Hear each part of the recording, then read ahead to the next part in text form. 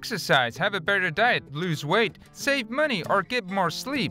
These are goals that many people make every new year and that are often not fulfilled. However, Productive is an app that helps people build up a daily routine of habits to achieve it is done through choosing a new aim among the ones that the app offers. Then one sets the time and date for this goal to be met, and the app sends notifications. If a habit or purpose is not found within the options offered, a new one can be created.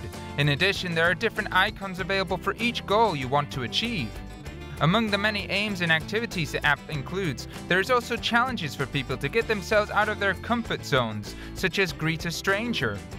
The objective of this app is for one to meet their goals throughout the year, learn new skills, form good habits, and of course get rid of the bad ones.